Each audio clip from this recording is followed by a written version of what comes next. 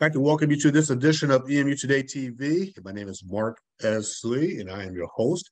And I'd like to wish you a very happy new year.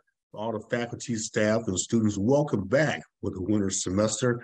And uh, we're so pleased to have you join us this month for this edition of EMU Today TV. And in the first segment, I'm so pleased to be welcome.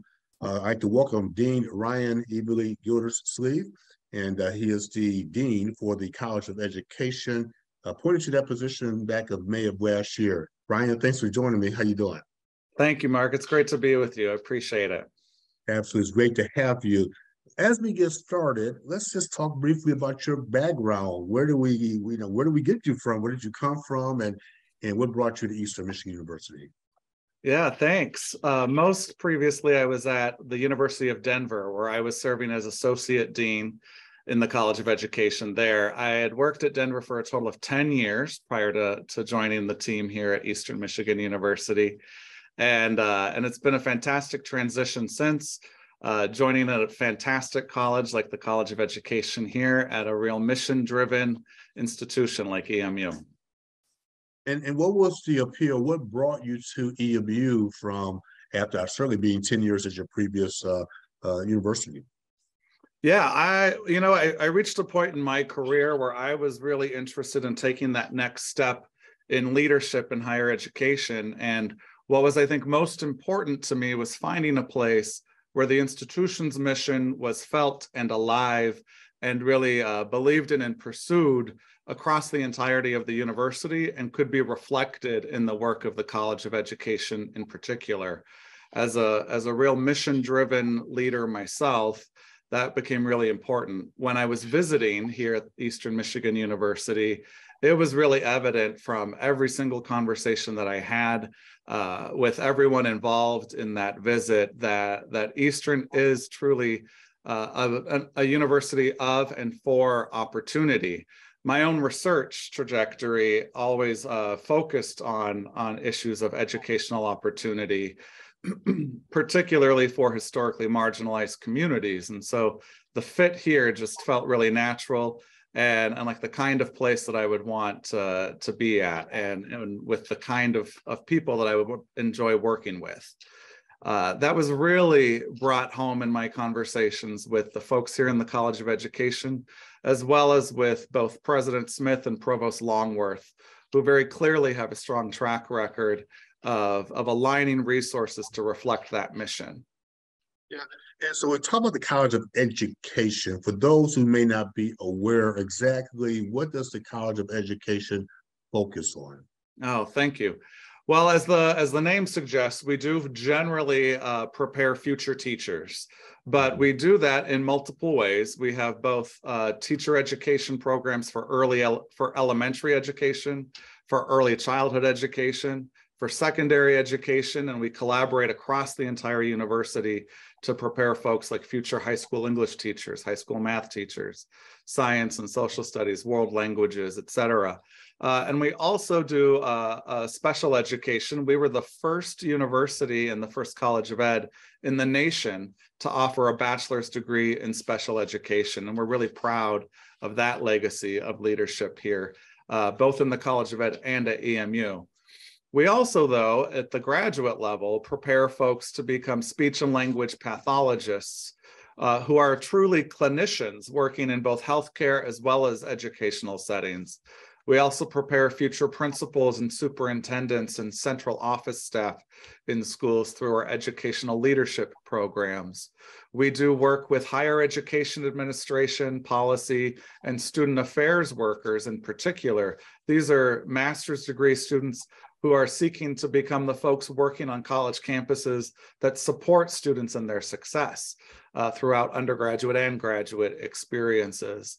And then we have really strong counseling programs, including clinical mental health programs, uh, college counseling, as well as school counseling programs. So while education is our title, our reach and our scope is rather broad.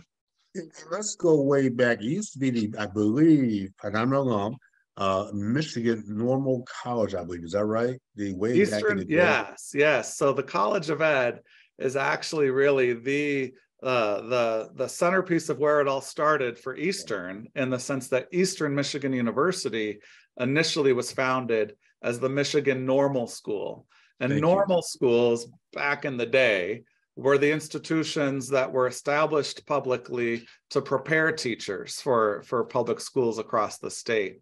So education has been a part of EMU since uh, the founding of EMU. And in fact, we have the Geddes School uh, one room schoolhouse here on campus still, which is just across the street from the Porter building where I'm joining you from today. Yeah, you know, and, and we think when I was a student at EMU going back just a couple of years ago. just a couple. Yeah, we and I, I remember that there was a reputation of EMU being a teacher's college back in those days. Talk about the evolution from that core mission, and you kind of touched on it earlier with the other programs, but talk about the evolution of it being a teacher's college to where we are today. But here's the little twist: in light of all the changes that have taken place over the last several years in the educational field. That's a great question. Uh, we in the college are doing a lot of work right now to try to recognize and understand our legacy of leadership, the shoulders upon which we stand, and how we're going to steward that legacy into the future. And um, there, for a long stretch of time, Eastern Michigan University uh, was graduating and preparing the highest number of certified teachers in the state of Michigan. Today, uh, we don't have hard numbers on this, but based on those former numbers, it's safe to bet that there are more Eastern graduates working as certified teachers across, across Michigan's public school settings than any other institution. We take that very seriously and are quite proud of our alumni that are spread all across the state. If you combine that with the numbers of principals and superintendents and, and paraprofessionals that have spent some time with us, um, then, then the numbers of Eastern alums reaching children and families across the state of Michigan just exponentially grows. And so on that legacy, we are now building out what's the next iteration of our, of our leadership legacy in the state, focusing largely on things that have been our strengths for a long time that were initiate that we are trying to build stronger infrastructure to support for the longer term. And these to me are things like are the fact that we provided leadership in the notion of community schools way back in the day. And some of our emeritus faculty, like Dr. Jackie Tracy, who is still active in, in Michigan um, as, as, a, as a known educator and as a leader, um, as well as uh, uh, uh, Dr. Nora Martin, um, they really championed notions of what special education looks like, back to our leadership in special ed, as well as what the community schools as a notion can look like.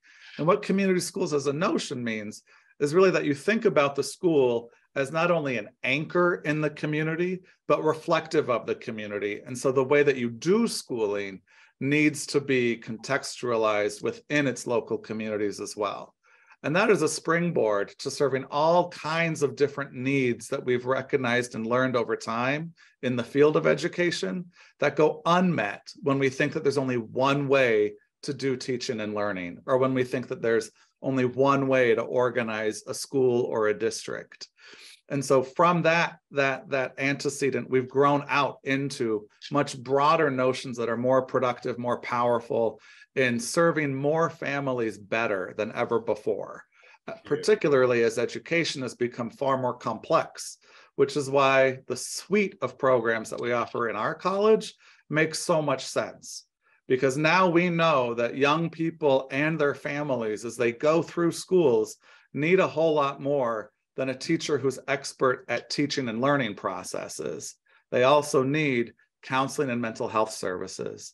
They also need support from a speech and language pathologist and people who understand learning from the multiple dimensions that go on across human development in that schooling in that schooling period. And we also need leaders who know how to organize for that. And we need folks who can pick up that baton when students move into post-secondary settings as well. You just touched on where I the going to go with the conversation. Teaching's become much more complex.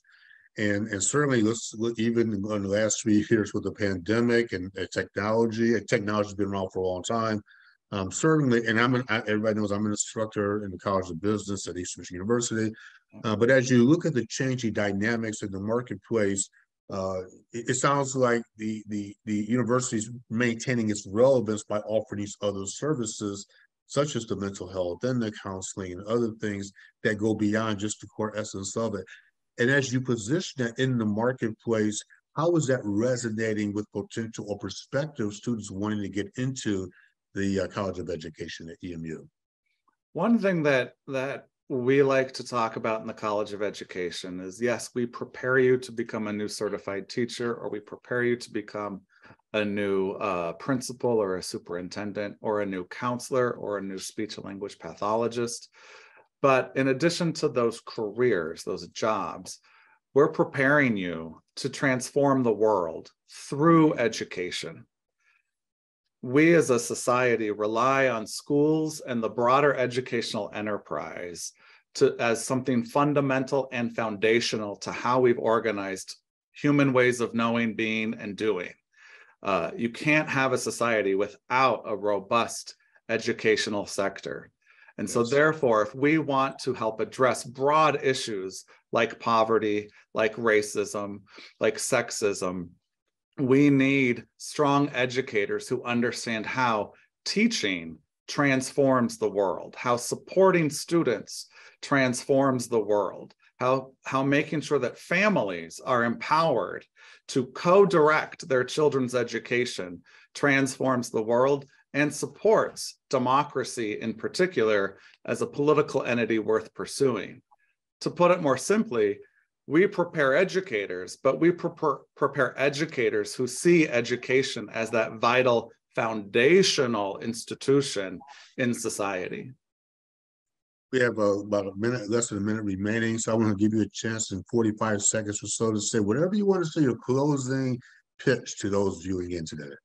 Well, I just am so proud, even in my short time here at, at EMU thus far, uh, I've been so impressed at the not just the hard work and the dedication of our staff and our faculty and our students, but the passion behind our innovations. And we have a Grow Your Own program that is uh, supported in part by the state of Michigan in collaboration with Washtenaw Intermediate School District, here our, our home county here in Washtenaw County uh, to prepare to, to help paraprofessional educators across the schools in Washtenaw County to become certified special education teachers. And that's one of the ways in which we are meeting the need of the state, and one of the ways in which I think helps highlight how we are unafraid to innovate what a, a teacher preparation program can look like and needs to do in order to remain relevant for the challenges that education faces today. Um, that that that that effort at innovation combined with that passion of leadership and transformation is something that runs rampant throughout our college and I think is really reflective of the ethos of what it means to be part of Eastern Michigan University today and our opportunity driven mission. Dean Ryan Gildersleeve, I want to thank you very much for joining me. Welcome again. I know you've been here for several months. Keep up the great work. And what we're going to do is take a quick break and show you, talk about education. We're going to show you the multicultural graduation that just took place back in the fall. We'll be right back.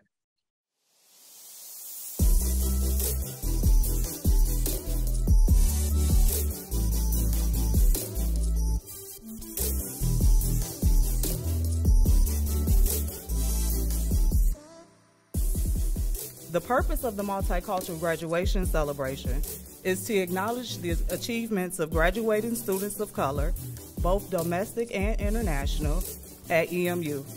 To the class of 2022, you have displayed a tremendous amount of resilience and grit. We know that this moment means a lot to you, but also to your family and community. The faculty here present today are among those who understand that the mere presence of students of color in places of higher education is a form of resistance. Merriam-Webster Dictionary defines perseverance as the ability to achieve something despite opposition, failure, or setbacks. So, congratulations. The same drive, the same determination that you demonstrated to get you to this point is necessary to keep as you progress on. Basically, keep the same energy. You counted on you. It was your hard work, patience, and dedication, shout out to Nipsey Hussle, that got you to this moment right now. And for that, you should be proud of yourselves because it is the sum of those things that will allow you to soar wherever your paths may take you in this world. Every room you walk into, you make your presence known. And if any moment you start to get tired of performing at that rate of excellence, at that rate of perfection, you remember the fire that is ignited within you today.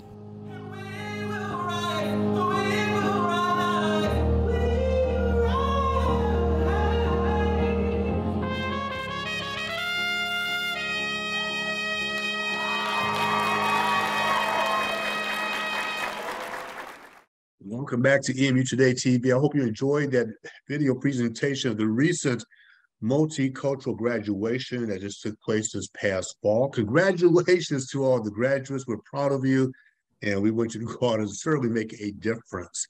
And uh, speaking of making a difference, it's a major event 60 years of civil rights uh, that's going to be coming up. And I'm so pleased to welcome Dr. Barbara Patrick, and she's the professor and department chair of political science also director of EMU Civil Rights and Social, Social Justice Center here at Eastern Michigan University.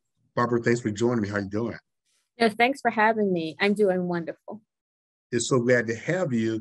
And you know, here we are in January, and uh, certainly MLK days are taking place this month, and there's a lot of discussion about you know certainly civil rights and, and certainly around the MLK days.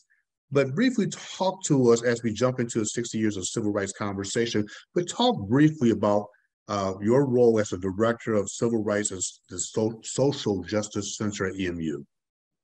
Yes, so this project began as a part of an ongoing process in the Department of Political Science, where we started six years ago with a course entitled the Civil Rights Travel Course, where we took students down south to give them I want to say, somewhat of an authentic experience with engaging in the environment where civil rights activists took it to the streets of Mississippi, Alabama, and Tennessee, and to have the opportunity to meet with some of the activists who were presently working there then.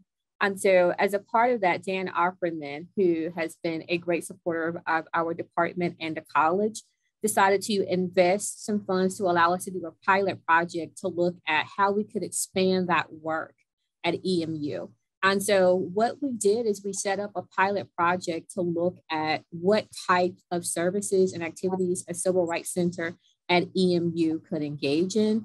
And this led us to the 60 years of civil rights from the church house to social media the struggle continues as we've looked at some of the issues of past civil rights movements and some of the current and ongoing civil rights issues and social justice issues or civil rights movement and social justice issues that we are engaging in today. That's phenomenal. So, so you actually have the opportunity uh, to take students down south to experience what was yes. experienced way back in the day. What is what has been their reaction as you take them down south to experience uh, what the forefathers, so to speak, went through? That's an excellent question. So initially, I didn't know what to expect because for some of the students, when once they heard they were going to Mississippi, they put their guard up because they said, "Oh no, I don't know what we're walking into," and they were expecting maybe the South of the 50s and 60s. But a lot has changed there. But um, the thing that has impressed me the most with that journey that students take is I've never met a student who has gone into that environment, had authentic conversations with some of the activists of the past and present, and come back as the same person. They mm. all come back very highly motivated, very touched by the experience, more aware of social dynamics, and more, I want to say, engaged and aware of their personal responsibility to make the society in which we live a better place. Okay, so gotta be almost like a, for the lack of a better phrase, a an emotional religious experience to go down there. And because I'm sure you're talking about Dr. King and, and, you're talking about the, the, you know, the freedom riders and things like that that happened in the South. And, lot of those students, of course, they read about the history books, but to actually go down there and experience it's got to be a very emotional experience for them as well, I think. Yes, um, for many of them to stand on the soil where a lot of these people have stood. And the other part of that, I think that is so moving, is a lot of the people who were foot soldiers of the civil rights movement still live there. And mm. so they tell the story of being the first Black police officer in a majority white city and what that experience was like or what it was like coming home from Vietnam as an African American soldier, or participating in a protest or being frightened because there have been bomb threats on the church that you are attending, or setting up the freedom schools for Freedom Summer. And so mm-hmm. to hear the authentic stories from people who engaged in the movement, I think is life changing for the students. Yeah.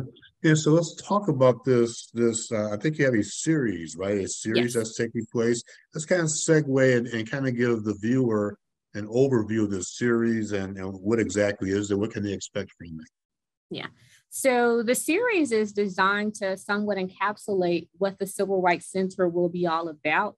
And a part of that is acknowledging history, making people more aware of that, but also engaging civil rights and social issues of today. And so it's a three part series. We held the first event in October, and it was called A Conversation with the Elders. And essentially, what we did in that conversation was we invited in three activists from the civil rights movement of the 1960s. And um, the keynote speaker was from the state of Mississippi, whom is a part of our travel course experience, but he was instrumental in setting up freedom schools in Mississippi. And I don't know if people are familiar with the Mississippi Freedom Democratic Party that interrupted the Democrats Convention in 1964. So he was the vice chair of that party at that time. And so we allowed students to listen to the stories and just ask questions about how that particular movement was organized and why it was successful and what the goals were. Part two that um, we're seeking to hold on January 25th in the Student Center is we have invited in Mr. Leroy Clemens. And I often tell people maybe the best way for me to sum this up for people to connect with is the movie Mississippi Burning and in that movie, they talk about the murder of the three civil rights workers in Mississippi that kind of really put a spotlight on some of the injustices down south. So Mr. Clemens led a movement that was instrumental in getting the guy who murdered them, Edgar Ray Killens, brought to justice in the early 2000s. And he comes, or he's going to come and do a talk about that process, what it did to the city, the racial healing that it brought by having those conversations and how they organize that. And the third and final piece is designed to match part one of the program. So, part one, we allow people to have conversations with activists of the 1960s who were instrumental in that movement. Part three is all about the present and the future. And we are inviting in young activists from Ypsilanti and Detroit who can speak to the issues on the ground today and how they are organizing to make a difference in our society or our community, and hopefully inspire other young people to engage in the work. I have to say, wow. I mean, as you're talking, you know, I'm reflecting on what you're saying here. And so, so many times we think of the civil rights movement, civil rights education, uh, and, and I say this very respectfully. Of course, we talk about Dr. Martin Luther King Jr. And we talk about Rosa Parks and, and the Jesse Jacksons and the Andrew Youngs of the world. Uh, I think the beauty of what you're doing here is, like you said, you're going back down to Mississippi and you're broadening the lens and you're showing that there were other people involved uh, yeah. in this movement that's, that's you know, going back 60 years of civil rights, although it goes back even further than that in terms of a historical perspective from our country's perspective. Yeah. And I think that's a fascinating tale to hear it from other people who have, you know, they've had their boots on the ground. And I think the students probably appreciate hearing it directly from them too, yes. especially someone that's still living and they've experienced that situation. Talk about that as well. Yes, um, I think that is the greatest piece. So I graduated from a small HBCU in Mississippi called Rust College. And so EMU and Rust are partnering to do some work together. But when we take students to Rust, we allow, so there's a two part deal there. One, there are a lot of activists who still work at Rust College. And so they get to hear the stories of those activists. Um, the former president would often tell stories about how he and a young college student from the Midwest, who was a white, who was a white male, were riding together and who were terrified for their lives because they were pulled over by the police for carrying books to the freedom schools. And so they walk through that process and they hear his story. Um, one of the siblings of one of the Little Rock Nine is actually the spouse of a faculty member there. And she goes through and tells the story of this is what it was like to watch my sibling go through this process. And this is how it altered her life or to meet someone who opened up the first African American record store. I mean, there are so many wonderful tales. And then there's the integration piece where they see that it was a community that came together to bring about change. And, and for those students to see these are everyday folk yeah. who said, awesome. we have to get up and we have to go and we have to fight to make a difference. And a lot of them were their age when they decided to get up and to go and say, wrong is wrong. And we're here to call it out and speak on behalf of those who may be too, too terrified or who may not be heard when they speak on behalf of themselves. That's absolutely awesome. We have a couple minutes remaining. Um, you know, and as I think about again, as you're talking, I want to give you an opportunity to, again just to briefly talk about the series. And you have one that's upcoming in January, uh, later this month, or in January, then another one, I believe. Uh, talk again, where's it going to be, the dates, the times, and, and things of that yeah. sort. Yeah. So on January 25th, from 5 to 7 p.m. in the Student Center, we will have the second event and it features Mr. Leroy Clemens, who will come in and give a talk about the murder of the three civil rights workers in 1964 and what that did to the community and how they were able to, as a racially diverse group, bring the person who committed the murders to justice and bring about some racial healing for the city. And he will talk about how you begin to organize movements if you want to bring about change. Our third and final event that we're also very excited about is scheduled for February 17th. And that will also be held in the Student Center from 5 to 7 p.m. And we will highlight local activists who are young folks on the front line making a difference today. And our keynote is actually an EMU alum, Marcus Banks, who graduated from our department in political science. And he is a part of a group called um, Black Attorney or Attorneys for Black Lives Matter, and what this group does is train young people on how to successfully protest, how to do it the right way. And then if you need legal representation, where to go. But they also talk about it. They'll also talk about social issues in Detroit, social issues in Ypsi, and how people can begin to engage with some of the grassroots organizations to have an impact on society and the community. Is there a website that people can go to get more information? Yes, if you go to EMU, there is a website for the EMU Civil Rights and Social Justice Center, and it has information pertaining to our past events and upcoming future events as well. This is also, uh, as we wrap up, I got to say as well, well, this is 60 years, by the way, if you're tuning in, 60 years uh, for the, on the March on Washington from Dr. King. And people forget that he first gave that speech in Detroit in 1963, and then he went obviously had that talk in the Washington D.C. Mm-hmm. So this is truly a phenomenal, phenomenal program and experience. And Dr. Barbara Patrick, I want to thank you very much for your time. And this is awesome. That's I'm, this is a wonderful experience, and congratulations for taking the lead on it. Oh, thank you so much, and thank you for the opportunity to share what we're doing with the center. Absolutely. In fact, as we wrap out this, as we wrap up this particular show, I would encourage you to participate get a chance to educate yourself and continue to understand the historical context of our country and where we're going today and looking ahead to the future. All right, we will check you out next time on EMU Today TV. As always, have a great day, a great week, and we will see you soon.